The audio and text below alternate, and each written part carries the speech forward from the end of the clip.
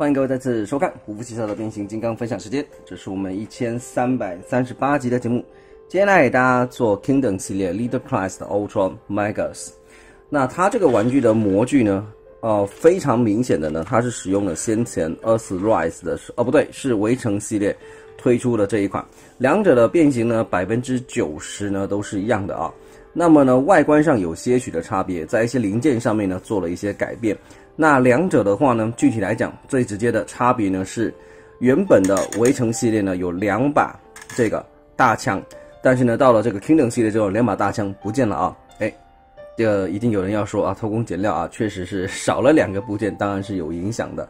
再来就是它的一个白色的部分也很明显的不同，先前的这个是有点米白色，但这一次是真的是纯白。那么车头的造型自然是不一样的啊，先前呢在。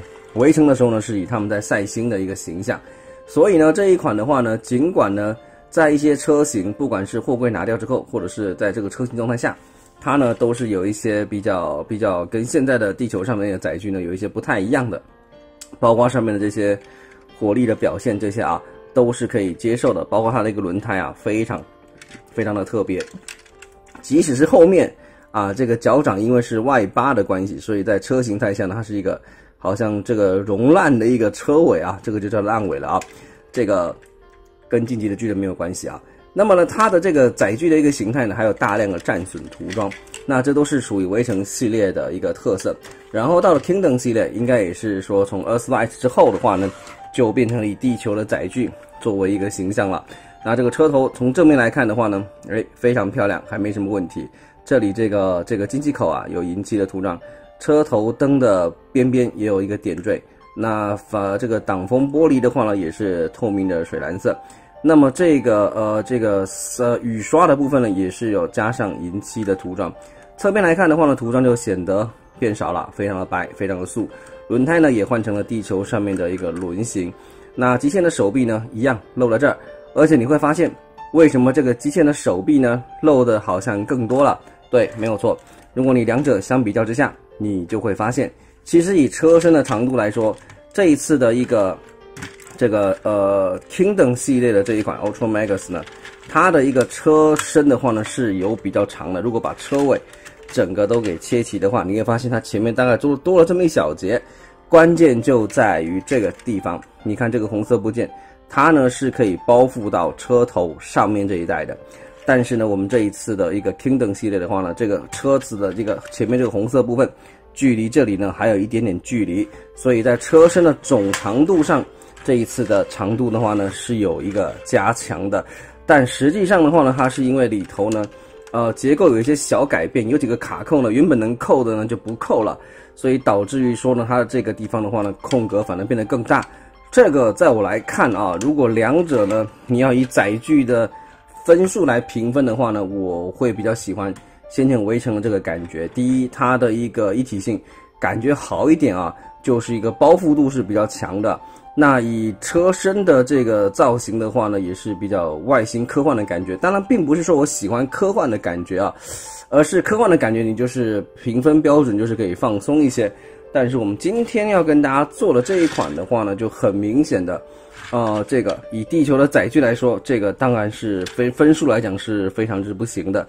那上面的配件，大枪可以扣在上面这个位置，导弹的话呢，你不一定要放在这儿，你这个是按照这个合会的话呢是放在后面，但是其实我个人是更加喜欢放在前面了啊，而且甚至的话呢，我会比较偏好呢把它放在这样子，把这个导弹呢朝上面做一个摆放。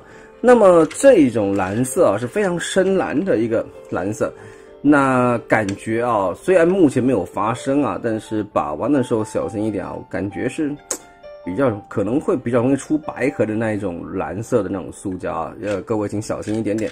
那这个车头是无法做一个转动的，并不行，滚动性呢非常好啊，所有的轮子呢通通能够着地，能够正常的做一个推行。那后方啊这里刚刚提过了啊，这个地方就是这里。这个形状的话呢，是非常非常的奇怪了，非常非常的奇怪。接下来给各位展示一下它的一个货柜跟本体分开的一个一个方式啊啊，主要是这个地方有一个卡扣，把它往外侧掰开来就可以了，从这个地方往外掰开来，主要是这个卡扣啊，这个地方啊，把它给松开来。OK，这里就可以往侧边推开了。另外一侧呢也是一样的啊，从这个地方小心的把它给掰开来。因为我我刚提过了，这个蓝色的塑胶的话，感觉是有点小危险的。两侧都给掰开之后呢，由于它的一个这个部件啊，这个部件你可以把它拔出来。通常啊，啊，如果是旧的围城系列的话呢，它这两个凸呢。跟这两个地方呢是卡的比较紧的，但是呢，在新的这个 Kingdom 系列的话呢，它卡的就没有那么紧，所以拔出来的时候呢，嗯，拔出来的时候呢，这两个的话呢，原则呃理论上呢，它有可能会卡在这个车子的后面啊。那各位知道一下就行了。那整个一个后半部的话呢，我们就暂时的先拿到一旁去。那我们将它跟先前的这个呃围成的这个模具的话呢，我们做个简单的小对比啊。那我们再提一下啊，如果你是这个，呃，围城的这个模具的话呢，你从后面这个地方啊，把它拔出来的话呢，基本上是扣的比较好。它的这个地方，给各位看一下，主要是这里啊，你看到没？主要是看到没有？这个围城的这两个结合点比较粗，它呢能够把这两个地方呢给做一个卡住，所以它的一个一体性呢反而是比较好的。那我们单纯的只看到这个车子的一个形态。啊，必须要说啊，这个车形态，如果说你是来到地球之后啊，这样子的一个车子形态走在街上是肯定被被警察给拦下来的啊。两只手臂啊，大拉拉的就露在后面啊，可以说是非常的不及格啊。那么这个也没好到哪里去啊，反正这个手露出来就是一个比较糟糕的一个一个现象。那车头的一个高度呢，差不多，然后造型的话呢，就有非常大的不同了。那以分色来讲的话呢，各位一目了然啊。我们这个节目呢，做到这一集做到现在为止啊，啊，似乎这个围城系列的这个似乎是各方面的胜出啊。你看到没有？连这个呃水蓝色的透明件的一个表现来讲的话呢，似乎还是先前的版本显得是比较大方了。那接下来的话呢，我们就将这个卡车头呢给做一个简单的一个变形啊，非常非常的简单啊。首先的话，我们把两脚给打开，然后呢往下面啊翻下来，啊，这个声音非常清脆，很响亮啊。这个很久没有听到这么清脆响亮的一个官方 L 级的玩具了。这个地方呢，做一个呃不对，先不用翻转啊，先到这就行了。再来的话呢，它有一个非常有趣的一个变形结构啊。首先的话呢，我们可以先把这个。啊，腰部呢做一个一百八十度的一个大回旋，然后呢把后面这整个部件呢整个往上面，透过这个滑轨呢把它给往上面给提上来，从这个地方往上面就升上来了。再把这个部件呢给往后面推啊，一样，这里中间是有个滑轨的，这个地方是算是这个玩具呢，呃，简单，但是呢也是其中一个小惊喜的一个变形过程了啊。推的时候需要用点力啊，这个地方，哎。看一下还有没有碎片掉下来啊！上次咔的一声就就断键了啊！然后的话呢，这个手臂呢先不要合起来，我们在这个时候呢先把这个部分给打开，然后呢在那个头部呢给翻折出来，你可以再往前翻一点是没问题的，翻出来再把它给扣上去，扣回去之后呢这个地方再把它给扣回来啊。那么呢这个变形的话呢，原则上到这也就算是 OK 了啊。那我们的话呢这里啊，这里把它给。灭曲度高一点，再把它扣起来。那我要提一下啊，这个有一点点胖的这个 Ultra Magus 啊，不知道。那这一期由于玩具是白色啊，这个白平衡的话呢，是会有一点的一个一个一个跑调，这个画面有时候是忽明忽暗，大家就稍微担待一下。那它的一个武器的话呢，就是这个，我们把这个武器把它给安装上来。那我们的话呢，就先简单的看一下它的一个。呃，可动吧，手臂平举没问题，三六零度的转动没问题，额头肌可以转动，拳头的话呢也可以转动啊。然后呢，齿轮关节呢只有这个地方啊，因为它在啊变形最后大合体的时候呢是需要一个比较多的一个这个地方支持力度需要大一点啊，不然的话脚一定会软脚的。然后外摆内收啊，在这个地方也是有的，脚踝也可以稍微动一下。那么呢，这个腰身的话呢也是可以动，非常不赖，虽然很胖，但还是有一个基本的一个可动度的。呃，原则上呢，把玩起来呢，这款玩具也算可以了啊。然后后面背包也意外的不算大。那么呢，我们就简单的呢，再一次呢对比一下它跟这个这个，呃，这个部件应该是变错了，应该是翻过来，先到这就行了。两者做个简单的对比，跟一个围城系列的一个这个 Ultra Magus 做一个简单的小小的比对。首先是白色的感觉是相差非常多的米白、纯白，胸口的这个梯形的这个透明部件。那以腰身来讲的话，它还有做一点收腰的一个效果。但是呢，显然地球的伙食比较好啊。咱们的这个 Ultra Magus 到地球之后，显然是胖了些啊。那么以头雕的话呢，两者的一个，呃，你看，这个也是发福之后的样子，这个感觉就是比较瘦一些啊，非常明显的一个体 体格上是有一个变化了啊。那这个脚部的以下的话呢，是零件应该是共用的，主要是胸口头雕啊是有一些不一样。那以背包的大小来说的话呢，这一次的这个地球的这个。地球载具的话呢，反而是啊，背包来讲是变得比较小一些些，然后整个是纯白啊，反而是这个时候呢，这个蓝色这个部件就显得特别的突兀。那这样子看起来的话呢，地球的载具啊，如如果说你不嫌它胖的话啊，啊，其实我反而觉得它的这个造型有一点可爱，有点意思，有点意思。那我们也把它跟这个一样是这个地球崛起的这个来到地球之后这个 OP 啊，做一个。身高的小对比啊，只能 Ultra Max 身高稍微小小的矮一点点，你就算站直的话呢，我觉得还是 OP 稍微高一些些吧啊，肩膀的高度来讲还是呃这个 OP 比较高一点。那以体型来讲的话呢，当然是我们的这个 OP 显然是一个花美男的一个造型啊，瘦的非常的多。那这个再次提一下吧，这一款 OP 的话呢，应该是我最近这大半年以来吧，把玩次数最多的一款玩具啊。那我们现在呢，就把这个货柜呢跟机器人呢做一个简单的一个结合。那在那之前的话，我会习惯呢先做这个本体的一些简单的小调整。首先是后面这个部件的话呢，我会建议呢先把它给往下面给推下来啊，因为等一下装上零件之后呢，可能反而没那么好推啊。然后脚掌收进去，以及呢这个地方打开，再一次的呢将这个机器人的头呢给缩进去。那么我们的一个本体的一个部分呢，到这。就算是完成了它所有的预备动作了啊，那我们可以暂时的呢，先把它放到一旁去。再来这个部件的话呢，就是做一一的一个解开了啊。解开的步骤呢，就是从这呢一一的往下面，这个遇到卡扣呢，就是把它给松开啊，并没有特别的难度。从这个地方一一的把它给松开，然后呢两侧这个地方把它给掰开，这个地方把它给拿出来，这个地方小心的拿出来。然后的话呢，这一块部件比较简单啊，这个地方往上折，这个地方折下来，这个部件呢往下翻，然后呢，两只手臂的护甲呢是藏在这儿的，我们呢将它给转出来，到这，然后这个部件往上面组合上来，这个呢就是它未来的一个头部的一个位置。脚的话呢，原则上的话呢，我们就是将这个部件呢全部往后面折过去，但是在折的时候呢，就是它是有一点呃没有那么好理解，就是说呢。